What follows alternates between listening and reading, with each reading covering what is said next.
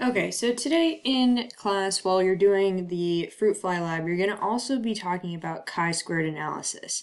Now, this analysis is a statistical test, and it basically just proves whether you can attribute whatever it is you're looking at to chance or if there's something, you know, further we need to be looking at.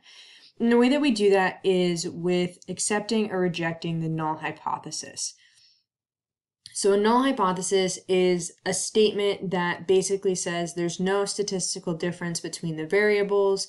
And so whatever we're seeing in this data is just random chance or a sampling error, but it's nothing to be concerned about. So basically a null hypothesis says this is sort of what we expected to happen and shocker, it happened. Now, I'm going to be talking about a lot of different terms as we go through this. And so I just wanted to kind of give you um, the formula and talk about what each of the variables stand for. And so what we're doing when we're looking at chi-squared analysis is we're looking at the difference between expected numbers of a Mendelian cross, right? Like if you cross two heterozygotes, uh, the expected cross would be three to one, right? Three dominant, one recessive for phenotypical um, results observed data would be the numbers you legitimately got when you did the cross. So this would be like if you were actually crossing like pea plants or fruit flies or whatever, you would take the literal numbers that you got as a result. So when you're looking at this formula, and this formula is right here, um, chi-squared, that's just the analysis that we're doing, equals the sum, that's what that like fancy E looks like, the sum of your observed minus your expected data squared, all divided by your expected data.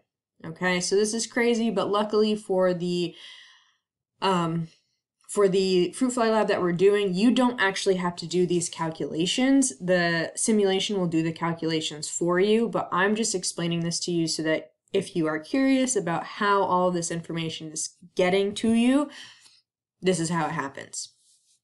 And when we're looking at our chi-squared results and we're determining if we can accept or reject our null hypothesis, which again I will explain as we go through, um, we're going to need to know degrees of freedom. And this is another term that I will again get into later, but this is like your definition portion. And a degree of freedom is the number of categories you have. For us, it's going to be the number of phenotypes possible minus one. So if we're doing a monohybrid cross, meaning that we're crossing one gene and it has two traits, right? A dominant and a recessive trait, our degree of freedom would be one because we have a dominant trait and a recessive trait. That's two categories, but you do the number of categories minus one. So you would end up with a degree of freedom of one. Now, when we're talking about probability itself, which is stats 101, right? Um, it's just a determination of whether the chi-square tests are random. We want to notate a value on a chart, which is 0.05, which indicates whether the test is random. So if you have a low value, less than 0.05, right, less than 5%, then what you got for your data is sort of the expected data, right? You have the random result, so you would accept the null hypothesis. If you have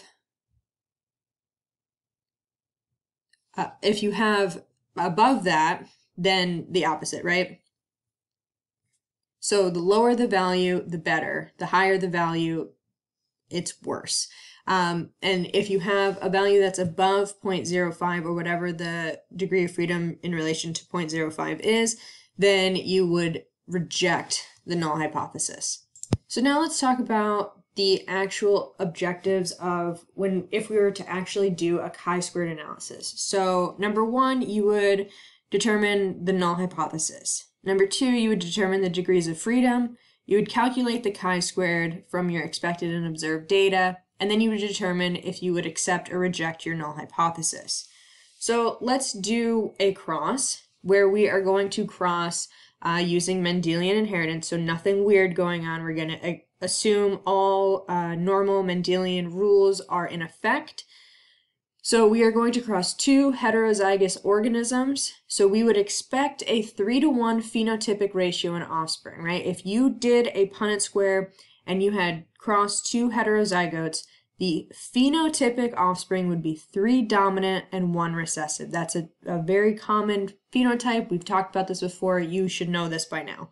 So then we're going to do some math to figure out if our results that our observed results, our observed numbers that we got, uh, fit into this, and any variation is due to random chance, or if maybe it's not following Mendelian inheritance. So, for this, here's our actual problem. So we crossed our two heterozygotes, and we got 102 round seeds and 44 wrinkled seeds.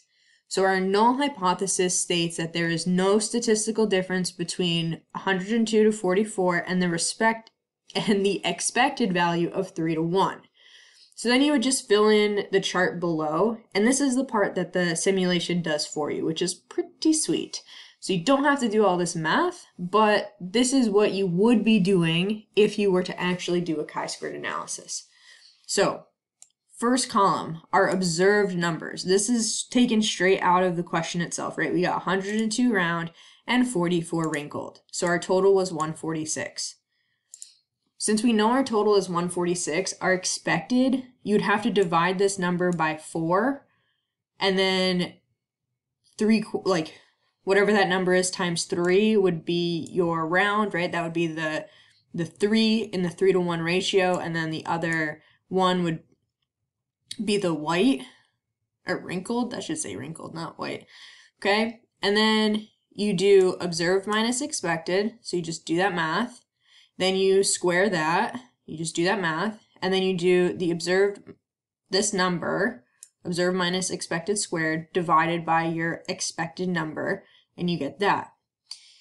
So again, this is just straight up math, like you would just use a calculator to do this. I would never expect you to be able to do this just offhand. And again, I'm not asking you to actually do this chi-squared analysis. I'm just showing you how it happens.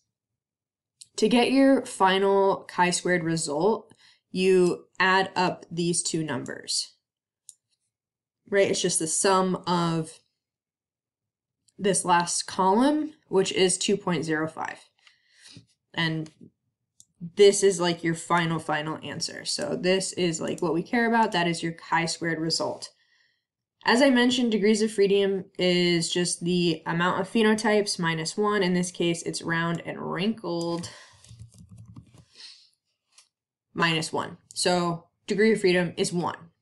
And then we determine our probability. So we know that our degree of freedom is one.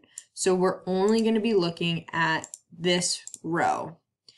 Our chi-squared number is 2.05, so that falls in between these two, which is perfect. So that means that we are going to accept the null hypothesis. We are going to accept it because our number fell in between these two, which means that the variation that we saw in our observed numbers is not different enough from the expected numbers to count for anything more than just random chance.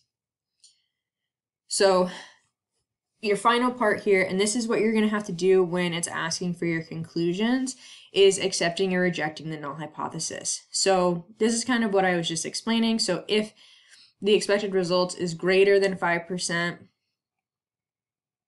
over here, then you accept the null hypothesis. If not, you reject the hypothesis. Again, our number 2.05 fell uh, in between these two numbers, so we're going to accept it. And what you're going to do is just accept the hypothesis and give your reasoning. In this case, we're going to accept it because our chi-squared value is 2.05, which is less than 3.48, so the differences we see are due to chance. So we would accept our hypothesis because our chi-squared value fell in that range. And that's everything you need to know about chi-squared analysis.